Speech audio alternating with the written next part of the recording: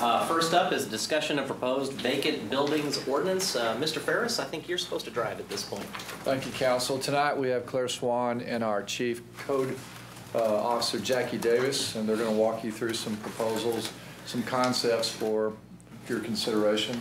Uh, It's an issue that's been ongoing for many years, of frustrations for staff and citizens, so they're going to pitch some uh, ideas to you and get your input tonight. So with that, I'll turn it over to Claire. So one of our big moves was Thriving Neighborhoods uh, in 2025, and this is directly related to that. Um, One of our action steps that came out of that was trying to figure out how to deal with vacant structures, how to um, increase enforcement, make it more efficient, and get compliance as fast as possible.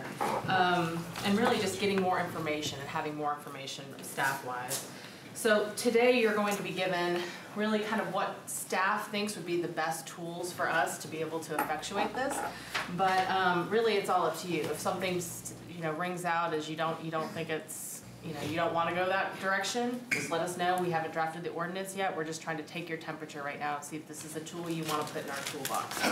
I will say that, um, you know, we've got Jackie Davis here, and I know Jackie doesn't present um, as uh, some of the other people in this room.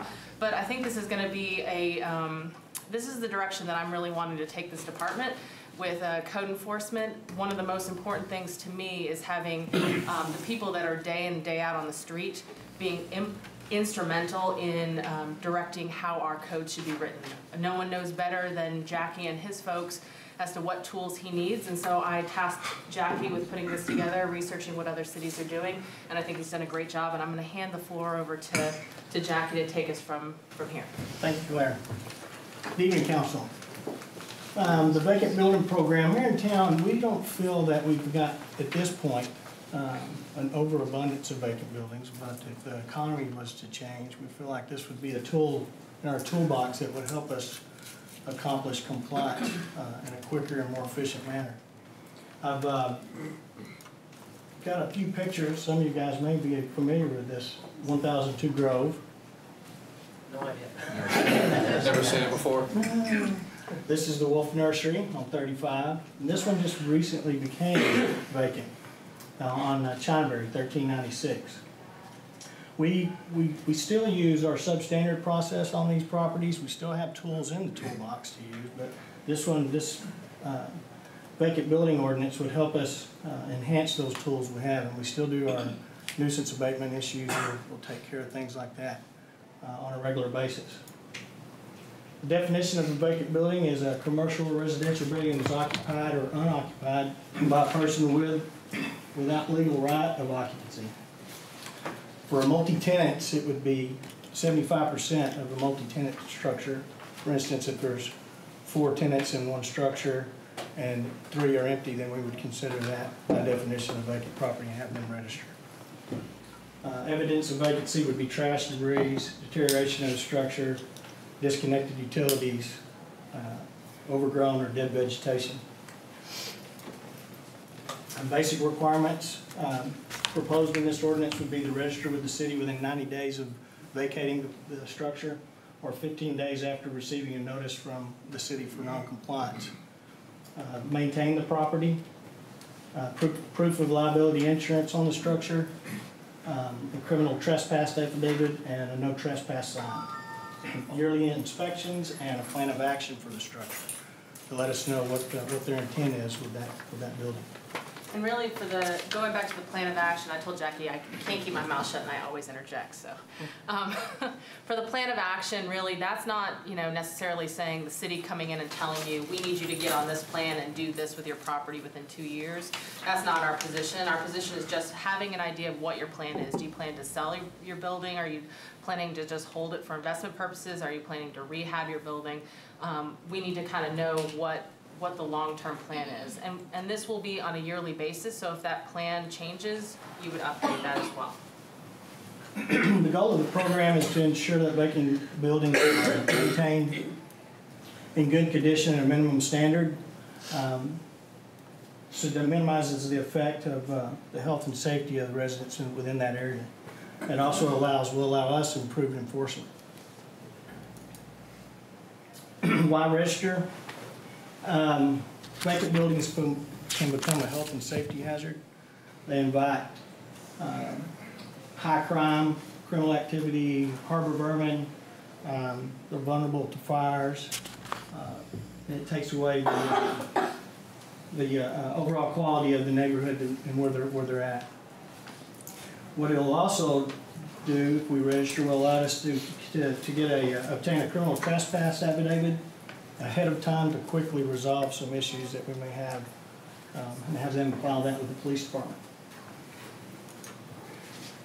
On that criminal trespass affidavit, that, and we're still working on that with legal, with the requirements of what a criminal trespass affidavit would include, but that's a huge key to us, because what that means is when, right now, if someone is trespassing on a person's property and we wanna do a criminal trespass, we have to get in touch with the property owner and we start that process then. If we can get that on the front end, then we have all those tools in place. If some, some vagrant's living in a house, we can immediately start enforcement action against that person and write citations for them being there. Exceptions from this registration requirement would be uh, vacant building with an active building permit, vacant building in active state of repair or remodel, uh, vacant buildings that are actively marketed for sale uh, or lease, or under contract for sale or lease, uh, less than 12 months. Uh, Information required would be the contact information for all the owners and and a designated local agent, uh, if that was the case, proof of liability insurance for the property, a floor plan of the property, uh, and the criminal trespass affidavit filed with the police department, and also be required to post a no trespass sign. And if there's security services, we would like information on that also. And then, of course, plan of action for the structure. Uh, Building inspection would perform um, a yearly inspection of the, uh, of the structure to ensure that all the building codes are being met. There's no building code violations there. We do that at the initial uh, registration, and we'd also do that at the, at a renewal, once a year. Uh, Proposed fees uh, for residential, a one-time registration fee of seventy-five dollars, and then the yearly inspection fee of twenty-five dollars. For commercial, one-time registration fee of seventy-five dollars. And currently, we have a fire inspection um, fee, an annual fee that it would be included in that. And then it's based on, some of them are based on the square footage of those structures. The reason we rolled that in with fire inspections, because fire inspection is already going out and doing those inspections. So it- really what it would be, currently, would they would just mark it as vacant, look on the outside. This would allow them to go in and do, do more, and it would be charged like anyone else's inspection.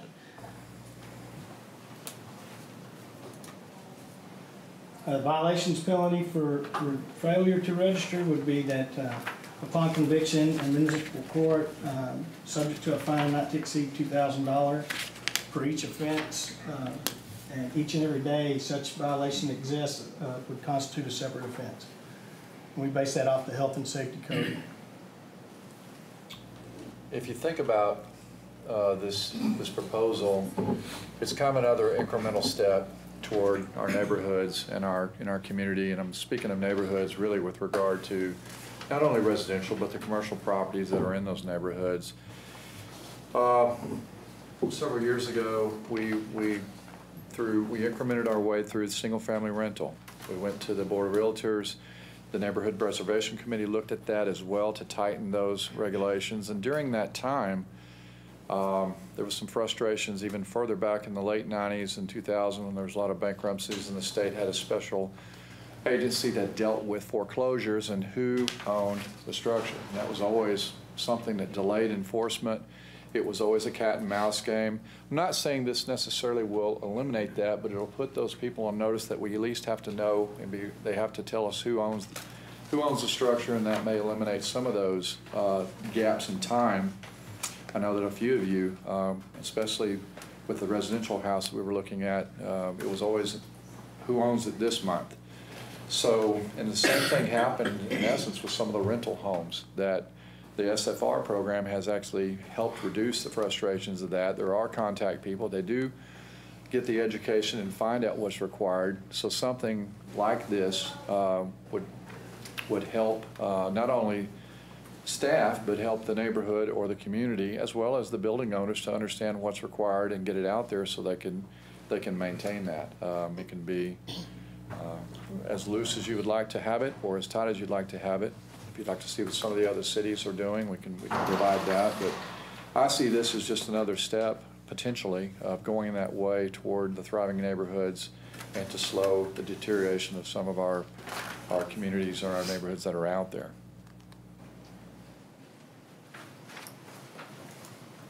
Questions?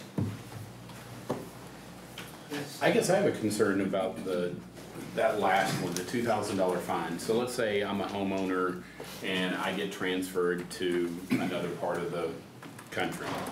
And I decide, you know what, I wanna keep my home, so I'm gonna keep it here, but I'm gonna transfer. So the, the house is gonna stay vacant maybe for a couple years until I move back, but I still pay to have the lawn cut and all this stuff, but I don't register and I could get fined two thousand dollars? A majority of our, this is an up to, and a majority of all of our life safety codes, electrical, mechanical, plumbing, fire codes, that's standard code language. Doesn't mean that's the bench fine. It's gonna be much less than that. It's a standard class C unless the state statute sets a limit on that fine. That's a very common throughout our codes through, I would say, hundreds or thousands of different code requirements. Um, So that's standard, that's standard, standard uh, maximums, but a bench fine, something like that, first offense. Of course, we're not in the business of writing citations. We, that's the last ditch effort. Just like if you had a plumbing, electrical code or a fire code violation, you're gonna get notice and notice and notice and failure to achieve, then we would cite only as the last case. But even then, those fines are a maximum two thousand, but that's not what's assessed uh, as the walk-up fine or your, your fine unless it's, in my thirty years, we've, we've never, we've asked for some maximum fines, but never two thousand. uh, But that's standard code language. Because I would think that most residential, if that scenario was to happen, they wouldn't even know that they would need to register, so. part of the education, again, like an S, single-family rental or something like that is still part of that ordinance. And in, in the end, um, that's just, we're just trying to match up what we had in the other ordinances. Okay. And we would follow the notice process to educate. So I like most of this. I like uh, registration, inspection. I really like the uh, trespass affidavit. I think that's a great idea uh, because it cuts a lot of red tape. Um, The circumstance where I have a problem is specifically on multi-tenant. And it's the seventy-five percent benchmark and specifically uh, thinking of a building where there are no, it may not be pristine, it may not be new and sparkly, but there's no code issues, there's no real history of code issues. Um, But we're going to put what I would call a kiss of death sign on it, uh, no trespassing. And that's not gonna encourage trying to lease that empty space, that's gonna discourage. And that's what gives me grief. Well, if it's for lease or sell. Well, but you said a twelve-month window, uh, you know, buildings are always Right. for lease. I mean, it's, there, it's, you rarely have a building that isn't for lease to some extent. So everybody, I'm not gonna say everybody, but I think it's not unreasonable to say ninety-plus percent of the buildings fall into that. I've been on, you know, out there looking for tenants for more than twelve months because I haven't leased every square foot. So they fall through that hole. So that's where, it's that scenario, and that's not an unlikely scenario. I think I can name some that are sitting out there, and they're gonna fall into that trap, and now they're gonna get slapped with that no trespassing sign. And I'm good with everything up until the no trespassing sign. So I think what I would ask for is maybe a little bit more of a, um, uh, call it a flow chart or whatever you want to this that says, okay, if we're multi-tenant, especially where there is tenants with a common area, I'm particularly concerned about that situation, but in general, if we're um, uh, vacant, but there's no, either no history of uh, code issues or they've been very minor, um, so generally maintenance is good, trash, all that kind of stuff is good. Um, we're still gonna ask them to register, we're still gonna ask for the affidavit, but we're not going to require the trespassing sign on that property if they're actively seeking tenants. Now, they may be overpriced, that may be why they can't get tenants, but I can't legislate what they're asking. You know, common sense should tell them, but, um, or they may have some plan out there in the future that they're not ready to disclose or hasn't really gelled. But that's, that's the niche. That particular little corner is the one part of this plan that really bothers me. Can I answer that? So, and I totally, I see that, and I, and I didn't see that before, now that you've brought that up, but, um, the one, the reason we have the no trespass sign is actually a requirement for the criminal uh, affidavit. For us to be able to use that, we have to put the person who's there, the vagrant or whomever's trespassing, on notice that they're not supposed to be there. So it's a two-part requirement, you have the criminal trespass and the no trespass sign. I was afraid of you were gonna tell Yeah, that. so, but I think, you know, maybe, let, let us look into it. I think there might be a way to massage this to, to be able to address your, cause you're, are you specifically interested in multi-tenant with regard to commercial? Yeah. I will say that some of the cities I've spoke to, that it, they wouldn't require that, um, the sign nor the trespass unless they had a- an occurrence there of that type. And I think that's a more reasonable approach. And I agree. And that's why I kind Yeah. of threw out the, you know, Yeah. no history of, of uh, code issues or major code enforcement activity is kind of a, you know, bar to set. That, you know, if you meet that bar, um, just because you're seventy-five percent vacant, uh, you know, you shouldn't, And, get- yeah. you shouldn't get slammed with this. See that? Not, we're not going into specific locations, but uh, Jackie, don't, we've had in the past a few centers on 3040 west of 35 that were sparsely leased with issues. Have you, uh, have you had issues with, um, I know we had one in Old Town here where people were actually living in a house and they shouldn't have been. Are your code officers, are they seeing some frequencies of people actually living in buildings they shouldn't be living in? Not, not right now, but oh seven, oh eight, yeah, we saw, we saw some of that. So in a downturn, it could happen. Yes. Um, I guess another question too is looking at multi-tenant, um, separate entries, not common, you know, not a commons type building, so strip zone. Right.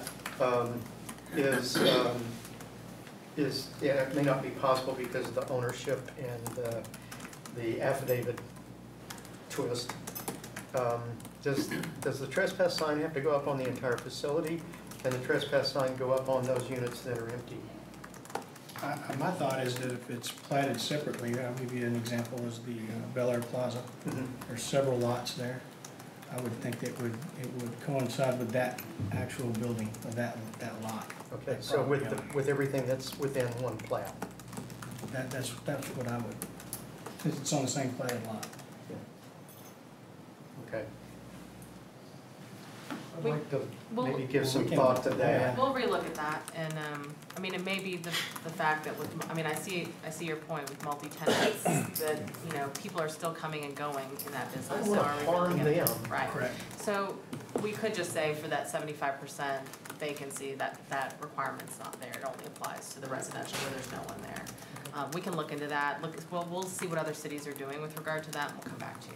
And really, if you look at the overall perspective of it, that's really what I'm saying is, I don't want to harm somebody when there's no gain, there's no benefit in doing so, but there is a potential to harm.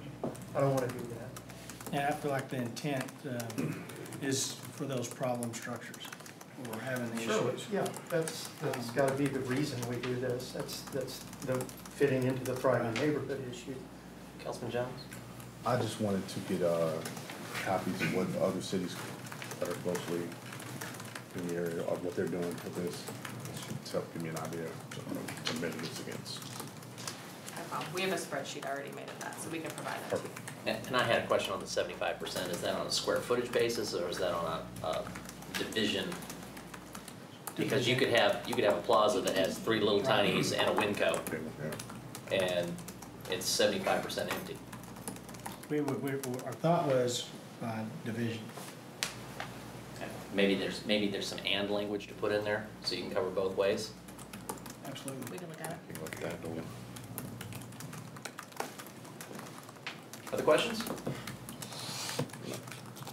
I think, um, based on what I'm hearing here, we would like for you guys to come back with, uh, some recommendations and follow-up. I don't hear anybody saying we don't want this. So, good work. Thank you. Appreciate it.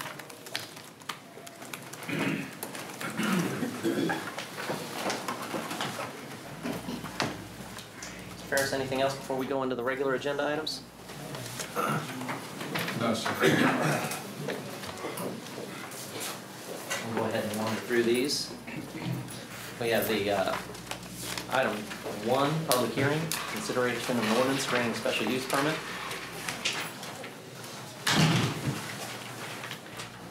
Council, I would encourage, um, staff has a presentation to get out and uh, give the facts of the case um, at the 7 o'clock hearing.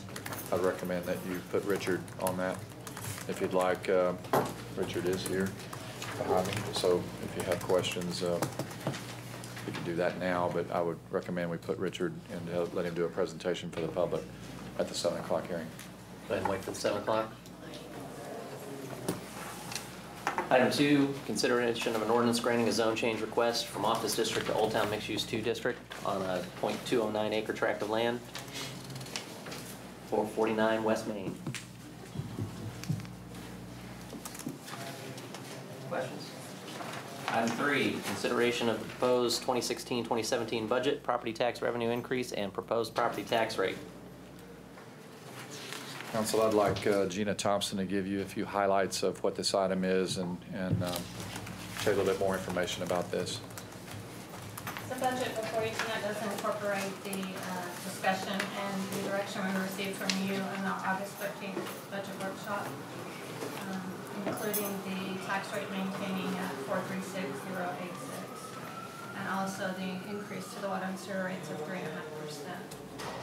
We did have our first public hearing on this August 24th. This is the second and final public hearing on the budget. And then next week, in the September 19th um, agenda, we will actually have items for the adoption of the budget as well as the tax rate. Thank you much. Any questions on item four, minutes? Item five, bid award for the newspaper to the Denton Publishing Company. It's our annual. Item six, custodial services. Item seven, SAS infrastructure, concrete repairs. Item eight, supplemental appropriation for the Steinway Model D concert grand piano. Exciting item. Good news. Item nine, public hearing for the levy of assessment, authorized improvements for the uh, Castle Hills Public Improvement District Number Seven. Again, this is all consent, guys.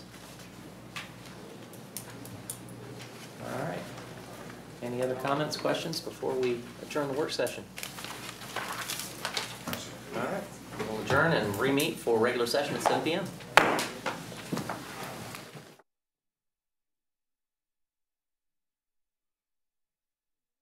And I call this meeting of the Lewisville City Council to order.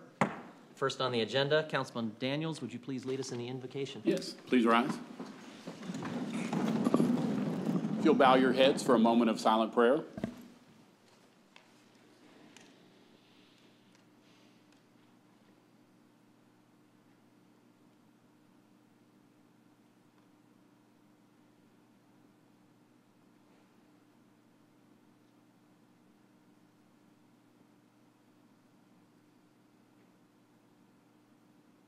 Amen. Please join me in the pledges to our flags.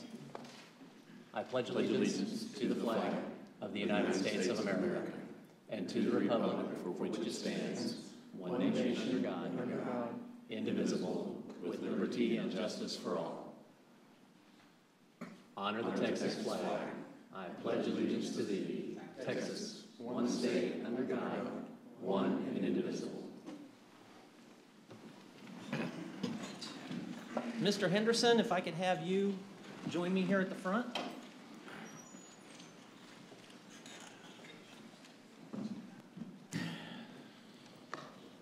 Tonight I am uh, honored to provide the uh, proclamation for uh, Live United Month here in September. Um, Let's see, several whereases. I don't normally speak like this, so we'll just go through this one. Whereas United Way of Denton County achieves its mission to improve lives in Denton County by mobilizing community resources that help children, families, veterans, people experiencing homelessness, and people affected by mental illness.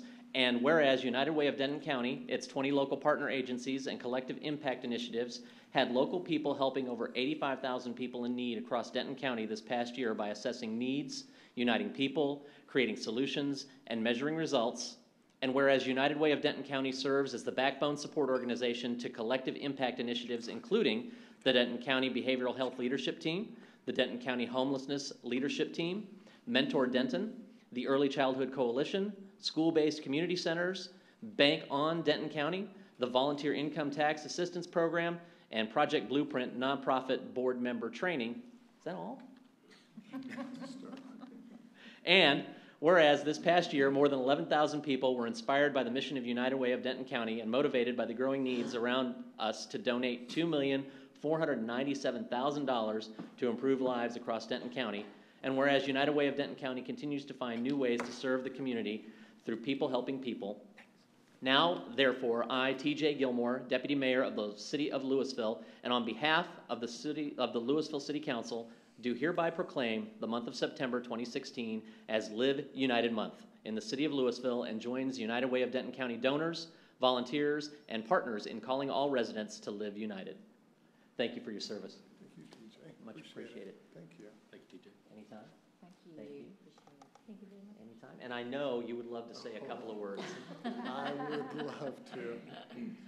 You know, there's so much that can be said, but really to this group that made such a profound decision a few weekends ago, the only thing I really can say to you is thank you for stepping in the gap with Commissioners Court, City of Denton, to provide emergency funding when the ESG, the Emergency Solutions Grant of $600,000 was lost in this community. The lives you are touching with that one time, we heard you very clearly, one time emergency relief it- it's just, it's beyond words. So from Friends of the Family, um, from Salvation Army, from, I mean, all of the organizations you helped, including CCA here in Lewisville, you came in at a time when it seemed very, very dark. So council, thank you so much for stepping in the gap and doing that. We're deeply appreciative.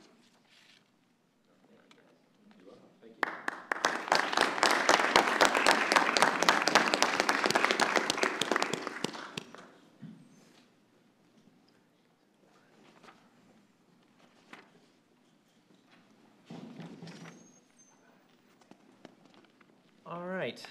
Item D1, continued public hearing, consideration of an ordinance granting a special use permit for a gasoline service station on a 1.379 acre lot located at the northeast corner of FM 544 and Old Denton Road, FM 2281. The SUP request is for a 7-Eleven brand gasoline service station with six pumps that will also have a neighborhood convenience store. The gasoline service station portion of this site requires approval of an SUP. P and Z recommended approval by the vote of six to nothing, with the condition that the required masonry screening wall be increased from six feet to eight feet in height. And the recommendation is that the city council approve the proposed ordinance as set forth in the caption above. I um, have several folks here that are to talk, but first we've got a brief presentation from city staff. Richard? Thank you, Mayor Pro Tem and members of the council. Uh, I will keep my comments very brief this evening. Um, I'll first start off with a history of the zoning in the general area, and then I'll give you an overview of the case as it went before the P and Z. Uh, this site is a part of an overall 68 acre site that had been zoned light industrial for many years up until about 2001. Uh, in August of 2001, the 68 acres was rezoned to general business in anticipation of some major retail development at that area in conjunction with the development of the Sam Rayburn Tollway. Um, as many of you may, uh, may know, the major retail uh, established itself about two miles to the east uh, at the Josey Lane intersection with 121 with major anchors of Walmart, Target, and Kroger. So the next uh, zoning action that occurred was in 20, uh, 2013, and that's when the Wendell Meadows neighborhood was rezoned from general business uh, to estate townhome. um, that did not involve the two hard corners on the southwest corner and on the southeast corner. And the uh, subject site is on the southwest corner of this overall 68 acres. Uh, The application, uh, first application itself went to the P and Z um, April 19th of this year. And um, during the public hearing, there was quite a bit of uh, concern from neighborhood residents about the proposal. So the uh, P and Z continued that public hearing to give the applicant an, app- an opportunity to visit with the, with the neighborhood and address some of their concerns. Uh, They came back again two weeks later on May the 3rd, and uh, most, uh, more residents had showed up with additional concerns, and uh, therefore the P and Z recommended denial of that application uh, due to the concerns of the residents, and mostly concerning crime, traffic, noise, um, fumes, uh, and so forth. The applicant withdrew their, that application on May the 9th in order to uh, reach out to the neighborhood and further discuss their concerns. The applicant submitted a second SUP application in June. That application went before the P and Z on August the 2nd. And uh, at that meeting, uh, the applicant uh, went into detail addressing all of those issues, and uh, the P and Z then recommended unanimous approval at that meeting. Um, With that, I will, uh, well, before I turn it over to the applicant, I do want to mention that uh, overall, the, um, the applic- application involves six gasoline pumps with a 2,940 square foot convenience store building on the site uh, with enhanced architecture and enhanced landscaping.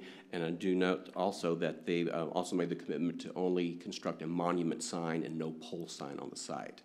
Uh, So with that, I would like to introduce Karen Mitchell with um, Mitchell Planning Group LLC, and she'll provide additional details on the proposal. Thank you. Thank you. Ms. Mitchell, if you could state your name and address for the record? I will do it. My name is Karen Mitchell, Mitchell Planning Group, 7823 Nine Mile Bridge Road in Fort Worth. Deputy Mayor and members of the City Council, thank you so much for allowing me to come before you this evening and to present this. I would like to also thank the city staff for all of the help that they have given to us in, in getting us to this point. As you know, we're not here uh, in order to ask to construct a 7-Eleven convenience store. We're actually here to get the SUP for the ancillary use of there being uh, six, um, and I'm trying to do this at the same time, I don't multitask really well together, to put six fueling pumps at this location. Richard has gone over a lot of the history of this site, so I won't necessarily go over it a whole lot with you, but as you can see, this was the plat that was actually approved in 2013.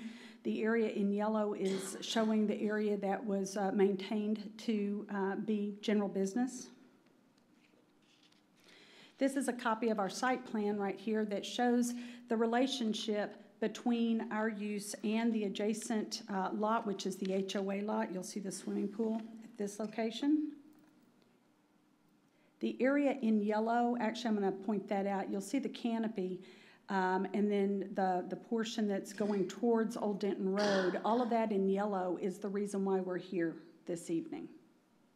To give you a spatial relationship of this so that you can see um, kind of where our property is located in the, in the big picture of things.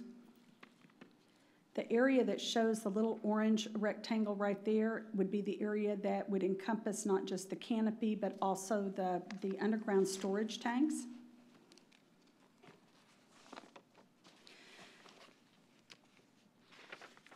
So when you look at what the purpose is of an SUP, and, and you guys have done this for a while, those of you who, who are relatively new to the council, were on P and Z for quite some time, and you know that the purpose of the SUP is to take a land use that might have otherwise been, you know, worked okay, but when it's kind of close to certain areas, there may be mitigating measures that need to take place to make sure that it does become compatible with the surrounding properties. Generally speaking, convenience stores with fuel cells are typically located on the fringe of neighborhoods. It's standard planning practices. It's considered a neighborhood service type use, meaning it's an, it's a use that supports the neighborhood. And it is typically found at the intersection of two primary arterials. We went and looked at, we did a Google Earth, and I'll go through this. You guys, you guys know because we've all driven around everywhere and we see where typically you'll see the gas station C-stores.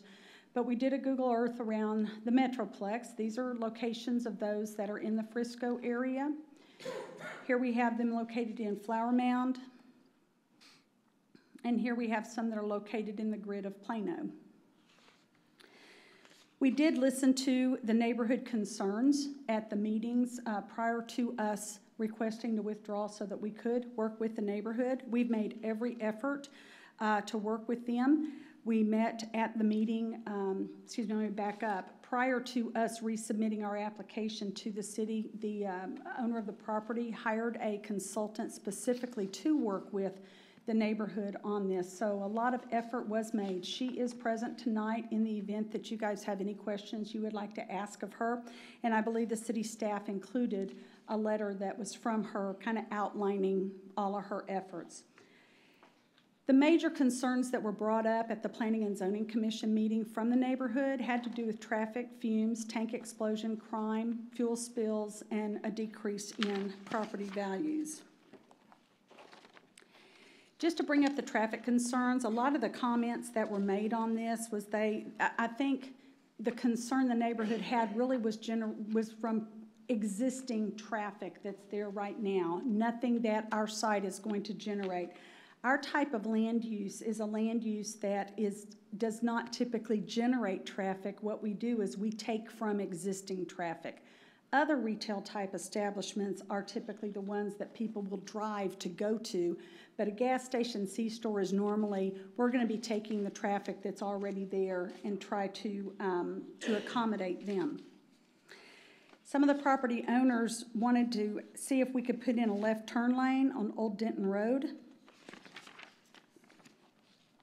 Others were wanting a traffic signal at this location. Others had brought up that they wanted to have a right turn decel lane into the subdivision. We contacted the City of Lewisville's Engineering Department, and um, I believe that, that they're here tonight in case you have any questions for them about what I'm about to say. But they said that our development does not warrant any of these things the right turn lane, the left turn lane, or a traffic signal at this location. One of the questions that really became a concern of the Planning and Zoning Commission that we really did not do as good of a job as we needed to the first go-round, I don't think, in explaining um, the vapor recovery system. And so what I'd like to do is kind of go over the vapor recovery system at this time. There's two, two forms of it that we're dealing with. We're dealing with something that's called the onboard um, recovery. Let me, let me back up just a little bit. We've got the onboard recovery. That's, that is where vehicles that were built after 1998, it was mandated by the federal government that they have this onboard recovery system to um, take care of the fumes or the vapors that come off of the, the car and at the gas pumps. In addition, we also have what is called the vapor recovery system where we've got the pipe system. So when this has to do at the tank itself, the stage two was a, was a mandate by the TCEQ. That was back in the day where you, when you put the nozzle into your gas tank, it had that huge, like, I guess, apron or rubber thing that was around it. That was part of stage two recovery. That's no longer in effect because of the fact that technology now has it where there's actually a separate line in the hose when you go to, to fill your car up with gas that is vacuuming out the fumes while you're putting gas into the tank. Those fumes, then, if you'll look on this next slide, you'll see the vent pipe location. Our vent pipes are located right by the underground storage tank, which is located right there adjacent to the old Denton Road right of way. You'll see where it says vent pipe location. So in actuality, what happens is, is that when the tanker trucks come in, to, um, to refill the, the underground storage tanks, they are then sucking out or vacuuming out any of the vapors that were caught in this particular area. So between those two um, technology, I guess, uh, is the reason why we no longer have the stage two that's required by the TCEQ. There was concern about increased crime, and I'm just going to go over this very, very quickly here. We have eight stores in Lewisville right now. Five incidents have been reported in the last 10 years. No incidents have been reported on these eight stores over the last three years. Crime specialists have said that typically when you have a 24-7 operation, such as a C-store with fuel sales, because of the way it is lit up and because somebody is there 24-7, that this is actually a better situation than one that closes at dark. Those are the places that have a tendency to have a higher crime rate. The National Crime Prevention Council has recognized 7-Eleven as a leader among retailers in the crime deterrence and employee and customer safety. According to a public safety data technician with the Lewisville Police Department, uh, she has stated to us that the police department does not show crime to be greater at a C store than any of the other allowed uses in the retail district. As you can see, these are, um, we're showing how it's well lit. We've got the, what's called the dark sky um, lighting, which is um, kind of above and beyond what y'all's minimum requirements are. None of our lights will bleed over into adjacent properties. It will all be contained on our site. Another concern that was brought up had to do with uh, fuel spills and explosions. In your packet, we included the technology that 7 Eleven actually uses. And they use a state of the art uh, system. It's a double walled system. Let me see if I can get to that slide real quick that will show you in the brochure it may not be there, I'm sorry. It's, it's in your brochure, but it, it, it has to do with these tanks. There's a double walled system there so that if a leak is detected in the first wall, an alarm will go off and it shuts it down immediately. This is something that is monitored 24 7. It is, it is a, a constant monitoring. Similar projects, one of the other comments that was brought up had to do with um, the concern about devaluing the property we went through and looked at other upscale uh, areas in the Metroplex that had 7 Elevens adjacent to um, some of the higher end uh, types of, of residential areas, and we did not find in Frisco or in Southlake. Um, we did not find this to be a fact that um, that by putting a 7-Eleven at this location or any gas station C store, but but particularly the smaller one, um, that this could devalue the property. Again, keep in mind that we're not locating right abutting a residential lot. We're abutting a non-residential lot, even though it's zoned residential. It's the HOA lot. Again, we're looking at the, the slide for the spatial relationship. I'm going through these a lot faster, so not to keep y'all. So we looked at what kind of uses are allowed there by right. So what uh, Mr. Luedke brought up in his staff report was this property was all zoned general, uh, general business for quite some time. Even, even prior to 2003, there was anticipation that there was going to be a lot of retail at this particular location.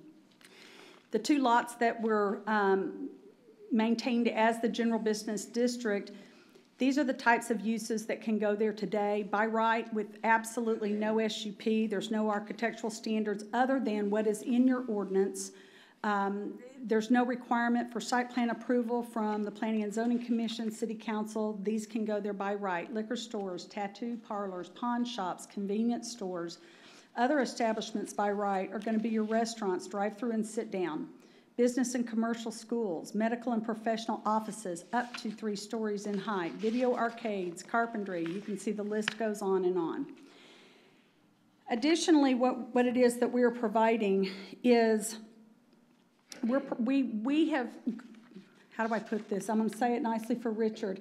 He says that when they meet with developers, they try to get as much as they can from the developer before it even comes before the Planning and Zoning Commission to mitigate any kind of potential negative uh, issue that might come up. So from this, what we are using is we're using brick and stone in order to be compatible with the surrounding neighborhood. We've designed a gable roof on both the store and the canopy. We've added, actually, those are not cupolas. I changed it in my, it's actually dormers. We've added dormers to the store to blend and look like it's an integral part of the residential neighborhood. We proposed a six-foot-high uh, screening wall, but at the Planning and Zoning Commission meeting, the Planning and Zoning Commission asked if we would consider going to an eight-foot wall to help mitigate some of the neighborhood concerns, and we definitely agreed that we would do that. Also, we are uh, putting in a much larger landscape buffer yard. I don't know if, if, I'm sure y'all read this in the staff report, but because of a lot of the utility lines that are in the front along the, the two road frontages, we aren't able to plant our trees right there. So what we agreed to do was plant our trees behind to add to the, the buffering. So not only are we doing a 25-foot buffer yard between the HOA lot and our property, or, or the store, it goes all the way up to 60 feet in some places. We have a standing seam metal roof. I already went over the dark sky lighting. We're proposing to put a seven-foot-high monument sign versus the allowed 30-foot pole sign. And again, we've designed the site so that the canopy will be located adjacent to the intersection at the primary arterials and away from the residential uses. This will show you um, what our design is.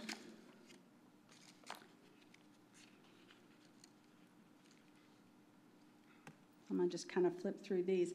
This is our standard elevation. I know that all of y'all are familiar with this. So hopefully you'll be able to see that um, on this one, we're showing what our standard is compared to what it is that we're proposing in an effort to try to blend in and look like it is part of a master planned community with the existing residential. This shows you our standing seam metal roof with the stone columns. Monument sign versus the allowed pole sign. So on this right here, I'm talking about the known versus the unknown. And I, the neighborhood opposition that we had, a lot of this presentation was done in an effort to try to work with them because we weren't able to really have any meetings with them. So forgive me if I'm talking too much or going into too much detail. But what we were trying to explain is with an SUP process, you actually get what we refer to as you know what's going there. We're You pretty know. good with the SUP process. Yeah, right. Okay, well, then I'm just going to flip right on through. So this gives an example of when there's no buffer yard that's required. You have a residential use up against a non-residential use. I'm just going to flip through. This right here just shows architectural compatibility. This right here, what we did is we took a, a uh, if it was allowed three-story office building, what could possibly go there? This is, this is the not known, the known versus the not known.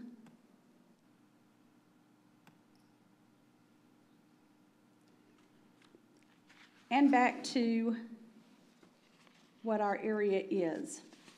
So in summary, we've met with the city's planning professionals and designed a facility that has the staff support.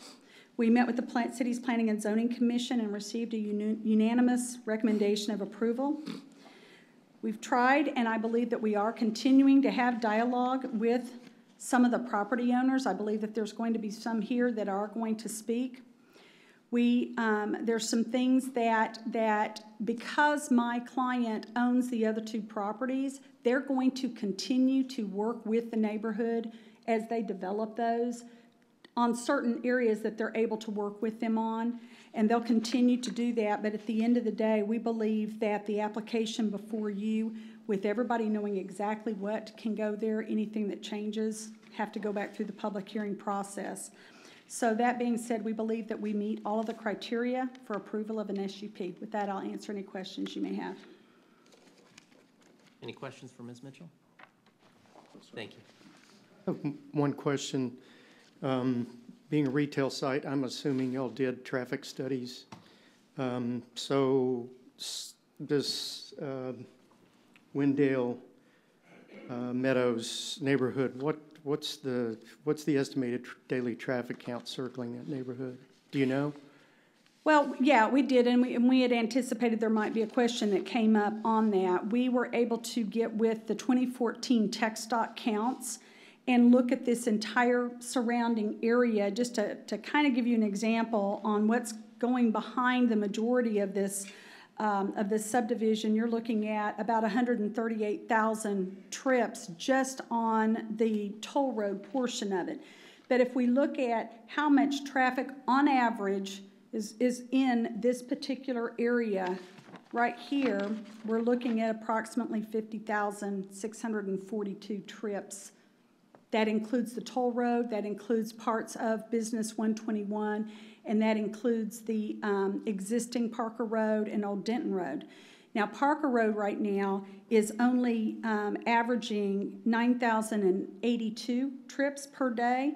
But with the new design of TxDOT, and I hope if somebody in engineering might be able to tell me anything different, it's my understanding that they're designing Parker Road for, I believe it's 23 to 25,000 trips a day. Okay, thank you. Thank you. Thank you, Ms. Mitchell. And forgive me if I mis- mispronounce a name or misinterpret some handwriting. Um, We have uh, Mr. Gary Fullington, who is the owner. He's here to answer any questions for council if there are any. Thank you, sir. Appreciate you being here. I have uh, Shai Roos, um, not here to speak, but in, uh, in support and available for any questions.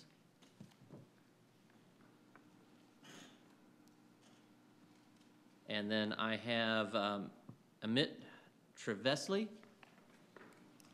And you're here to speak in support? That is correct, sir. If you would, please, uh, your name and your address for the record, or, or if you're just here to answer questions. Uh, Can I make a request?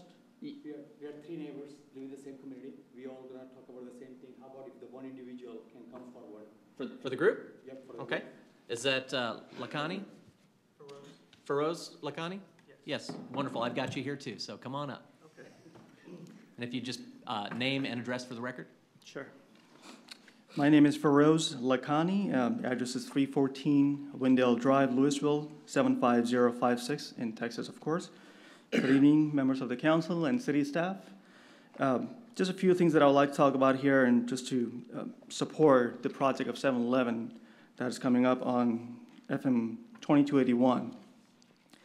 As we agree with the builder that he's going to build an eight-foot wall near the community swimming pool, and if they further build something along the line of the community swimming pool, they're going to build eight-foot wall further down to cover the lot, the residential lots that are going to be built by Lennar. Uh, second thing, they agreed to build hopefully eight-foot wall, not wall, probably a fence along the line on Prairie Glen, um, right by the property line that they have currently, even though it's not the same lot as 7-Eleven, it's a separate lot. But they agreed that if they build something in the future, uh, they will build a fence right along the line there. And they also agreed that if they sell the land to somebody else, they'll put it in the contract that whoever buys it, they're, uh, they're entitled to, or they have to build the fence along the line of the property there. Third thing, uh, there's a question about the driveway that we're concerned about, uh, right on the Prairie Glen Street. The proposal was to build a driveway to go into the property if uh, the property is fully built out. And we were just concerned that the driveway should not be aligned with the Vendale Drive that goes into the community. So we're requesting them to build the driveway that goes into the shopping center or whatever it's building later on. Uh, little close to FM 2281, not along the line of Wendell Drive. And they agreed to do, the, to do that too. So I guess these are the only concerns we had. Great, appreciate the feedback, thank you. Thank you. Those are all the speakers that I have who have filled out cards um, to address this issue. Is there any other comments to be made? All right, with that, I can uh, entertain a motion to close the public hearing. Move to close the public hearing? Second. I have a motion and a second from uh, Councilman Ferguson and drawing a blank, Jones. I wanted to go Daniels. Um, I have a first and a second. All those in favor? Aye. Um, Opposed? Hearing none. Public hearing is closed. Now we need a vote on whether to approve. Move to approve? Second. All right, I've got a first and a second. City Attorney? This is an ordinance of the Lewisville City Council amending the zoning ordinance by granting a special use permit for a gasoline service station on a one point three seven nine acre lot legally described as Lot one R, Block M, Wendell Meadows Edition, Phase One, located on the northeast corner of FM five forty-four and Old Denton Road, FM twenty-two eighty-one, and Zone General Business District, GB, providing for a repealer, severability, and a penalty, and declaring an emergency. All those in favor signify by saying aye. Aye. Opposed? Motion passes. Thank you all for all your work.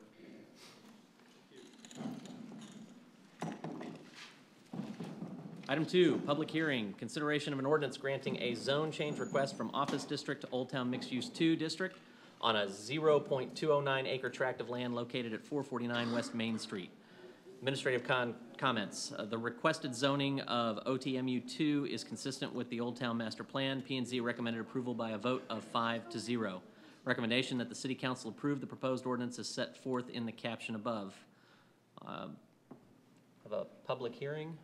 Does anyone, I don't have any speakers cards. I will entertain a Make a motion. motion to close public hearing. No, thank you. Second. Councilman Daniels, Councilman Jones. All those in favor to close? Aye. Aye. Aye. Motion passes. Need a motion? Make a motion to approve? Second. All right, I've got a motion and a second. This is an ordinance of the Lewisville City Council amending the zoning ordinance by rezoning approximately zero point two zero nine acres out of the J.W. Craft Survey, abstract number two ninety-five, located at the northwest corner of West Main Street and North Edna Avenue at four forty-nine West Main Street from Office District OD zoning to Old Town Mixed Use Two District OTMU two zoning, correcting the official zoning map, preserving all other portions of the zoning ordinance, determining that the public interest and general welfare demand the zoning and change and amendment therein made, providing for repeal or severability, and a penalty, and declaring an emergency. All those in favor? Aye. Opposed? Motion passes. Easy, right? We had, Ni- had Nika queued up and everything. Um, Next, public hearing, consideration of the proposed fiscal year 2016-2017 budget, property tax revenue increase, and proposed property tax rate. The proposed fiscal year 2016-17 property tax rate is .436086, equal to the current .436086 tax rate. The proposed budget includes changes made by City Council at the budget workshop. This will be the second and final public hearing. The recommendation is that the City Council conduct the public hearing. So with that, I have, um, uh, Gina and Matt are available to, uh, answer questions about the budget. Um, and I do have one speaker card from, uh, Mr. Brian Kelly. Can't believe I'm the only one. Mr. Kelly, if you would, name and address for the record, please. Absolutely. My name is Brian Kelly. I live at 1104 Willow Ridge Circle in Lewisville. Thank you, council members, for the work that you do, including a full Saturday reviewing and amending the proposed budget in fine detail. Thank you, City Manager Donna Barron, for her work in preparing the budget with multiple options. Thank you, fellow citizens and residents, for attending. A few weeks ago, I wrote a letter to the editor of the Lewisville Texan Journal. In it, I discussed the big picture for the city. The first paragraph. The Lewisville City budget, or I'm sorry, the Lewisville City Council just finished an exhausting budget workshop. They funded necessary items such as police, fire, various city services, and staff. They also gave most city employees a 5% raise. When was the last time you received a 5% raise or received a raise that large for doing the same thing day in and day out? I'm not against raises. I completely understand and respect the funding items in the general fund. I am also for merit and step raises in base salary. However, I believe the city council got loose with the funds by adding extra 2% upon the 3% general, 3.3 police, and 3.4% firefighter raise. A 5% raise in any government or civil service job is completely unheard of. Again, I do not agree, disagree with the raise in pay, just the amount. Under the proposed budget, my city tax payment goes up $113. It's more than 10% because I did one permitted, and only one, uh, improvement on the house. So mine went up more than the 10% allowed by the homestead exemption. Continuing my letter to the editor. Where did they get this money? They took it out of your home, literally. It's like it's a HELOC, like it just magically appeared. What City Council member Neil Ferguson as quoted in the Lewisville Texan Journal, calls a robust, robust surplus, is really taking more money out of your paycheck. $100, right there. Why? Because our neighbors decided to sell in a good market, make some good profit, and leave. They left us with higher home values, but no change in income. Thus, the city council has decided that you owe more money, on average $76 more per year from now on, or over $187 more per year the last four years. My beef isn't with the raise in the amount that I'm paying. It's that every year for the past four years, the raise has increased. A few years ago, FY 2014, the raise was $16 a year. In 2015, the raise was $38 a year. In 2016, with the city budget, on top of the 16 and 38, this is the average numbers that come from the city budget. I have to pay now another $55. And this year, 2017, the average is another $76. That's how I get to $187 more over the past four years. So, in conclusion, I would ask that the city find a middle ground that lets the city pay its employees fairly with a raise while maintaining a role of good steward of the taxpayer dollars because we cannot continue on this line and I graphed it trying to find an exponential function or some other kind of function. Right now, it's a straight line that goes up about $20 a year of the increase of the increase. Thank you very much. Thank you, Mr. Kelly. Staff, if um, we can have you just do a brief uh, description of uh, the pay structure that we, we approved, just so we have that on the record as well. Yes, this year the council did approve a three percent and in the preliminary budget as well as a two percent when we went to budget workshop for merit increases. Um, I believe the criteria that we looked at this year was a bit unique and from different uh, prior years in that we looked at the difficulty we were having with the police hiring in particular and what the other cities were doing in terms of salary increases for our police and our fire. And that was really the impetus for looking at it this year. Um, normally, we have done a 3% the last five years, so a 5% this year is unique, and it moves the city from a lag structure to a lead structure in terms of city um, parity with other cities. And that's something our HR director could talk about a little bit more if you'd like. Um, the discussion that we had regarding tax rates, um, a lot of times we get the uh, meshing of the value increases versus the tax rate increases that we, as the city council and city staff, propose every year. Um, values have in, continued to increase um, this fiscal year as well as prior fiscal years, and that's really where Mr. Um, Kelly is getting his average increases for what he pays for his house. Um, we will, I do want to reiterate that the city here um, is at a 43 cent tax rate the second lowest of any survey city in the area that we, in the Metroplex. We also are at um, 13 of the 16 survey cities that we look at are actually over 60 cents on their tax rate. So just to give you an idea of how low our city tax rate is currently and how low it's been historically. So I want to make sure that that's um, on the record as well.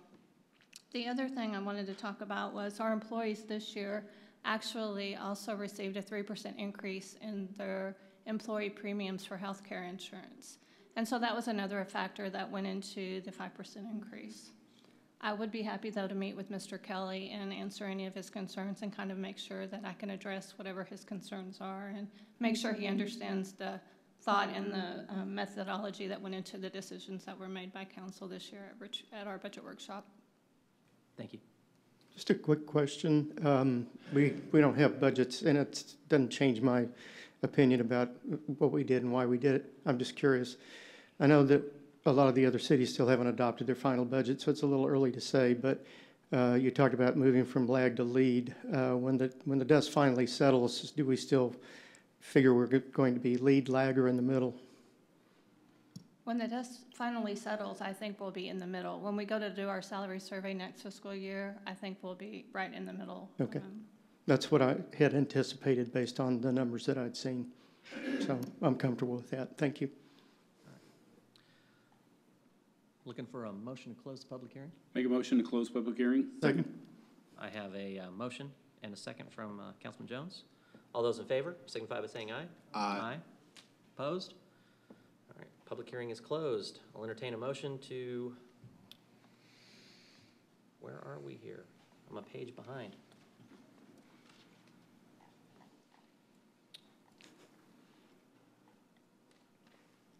We're moving to propose, let's see, approve the proposed ordinance of the, God, why am I a page off? Pardon me, haven't read yet. Oh, we're done, that's it? We're done. That's it. That's why I couldn't say it. There we go, no ordinance today. So then we will be dealing with the tax rate at the next council um, meeting, so. All right, next up, we have the Visitor Citizens Forum. At this time, any person with uh, business before the council not scheduled on the agenda may speak to the council. No formal action can be taken on these items at this meeting. I do not have any, um, Disappointment. poor Siri. Uh, I do not have any cards filled out to speak at the uh, Visitor Ci- Citizens Forum. So We'll go ahead and move on to the consent agenda. All the following items on the consent agenda are considered to be self-explanatory by the council and will be enacted with one motion. There will be no separate discussion of these items unless a council member or citizen so request. For a citizen to request removal of an item, a speaker card must be filled out and submitted to the city secretary. I do not have any item removals either from the public or from council, so I'll entertain a motion. Move to approve? Move to Second. approve. And a second, there we go. All those in favor of the consent agenda signify by saying aye. Aye. Opposed? Consent agenda passes. And with that, we will move into reports. Start on that side of the table. Nothing? Nothing? Chief? Nothing, sir. Chief? Nothing. Quiet day in Lewisville. So far. Lake level? We're three tenths below the conservation. All right, so it's drying up a little bit. Um, Lake Park seems to be going quite well. I keep, I keep seeing lots of roadways now that the water level's down. The project is moving well. Um, we're scheduled to have the paving Friday and Saturday of this week, yeah, without rain, of course, which has been plaguing us all the way through the project. But if we can stay on that schedule, we're looking the possibility of opening the park first of October. Another yay. There's, uh, there's one employee on staff that is posting updates as roads are being built out there, and he's putting them on the City of Lewisville, um, uh, Facebook page. That is really awesome. Love seeing that. He's actually with the contractor. Oh, then even better. All right, moving on. I wanted to just make the council aware that we're having our first public meeting for the multi-generational center for the design. Uh, we're working with our arch- architects right now. The first public meeting is gonna be Thursday, September twenty-second, from six-thirty to eight-thirty PM at the Memorial Park Recreation Center on Valley Parkway, uh, South Valley Parkway. And at this meeting, we're getting, um, public comments on, on suggestions for amenities they would like to see in the new facility and a possible, and suggest possible design elements there. So this is gonna be a pretty exciting meeting, um, getting public input. Thank you. Mayor Pro Tem and Council, just want to let you know that the uh, KNW and Sonic sites are going to begin demolition this week, and so you'll see some activity going on there. Thank you, sir. Councilman? Yeah, I just wanted to mention, uh, of course, in Lewisville, there's hundreds of organizations that are always needing your money and donations. And, um, you know, with Gary Henderson here tonight with United Way and all that they do and everything, and they're always in need. And a great time to give because we all give, and I know that most of us give, but on September 22nd, do not forget North Texas Giving Day because that's a day that you can leverage what you give to these local organizations. So the charity that you may be giving to already, postpone it or try to plan it for uh, November, or not November, September 22nd, North Texas Giving Day. See if you can leverage your dollars and see if we can get our organizations in Lewisville a little bit more money by donating on that day. We have the 2016 Roaring Twenties Fur Ball on November 19th from 6 to 10. You can get your tickets on the City of Lewisville website.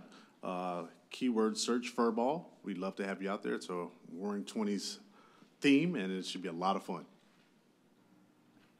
Mr. Ferris? No, sir. Councilman? Yeah, there's a lot of empty seats today. Um, I have some MCL Grand items. Uh, First of all, live performances. Uh, The Lion of Texas, September 21st, presented by Sam Houston, who is the Lion of Texas. Uh, Nostalgia, um, which is presented by Tango Amor and Ida y Vuelta.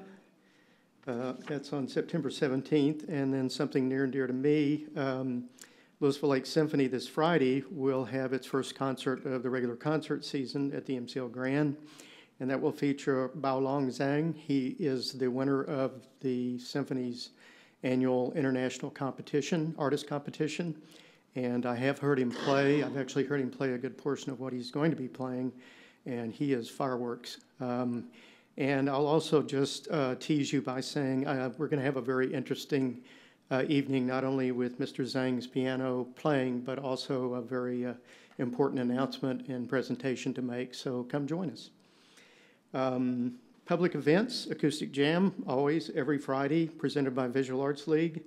Uh, arts exhibits, we have Don't Fence Me In, uh, beginning that, that began, sorry, on August 30th, continues through October 29th in the edu- educational wing, and then Art and Characters of Frontier, Texas will start September 17th and run through October 22nd in conjunction with Western Days.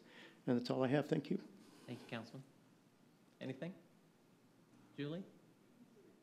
Officer, thank you again for being here. We really appreciate the support.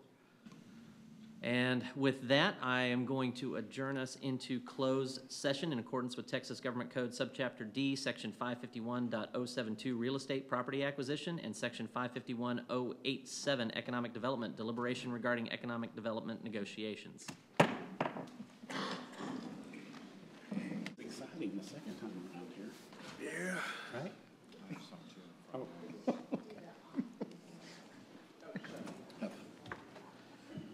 Reconvene into regular session. Are there any action to be taken? Move to adjourn. Second.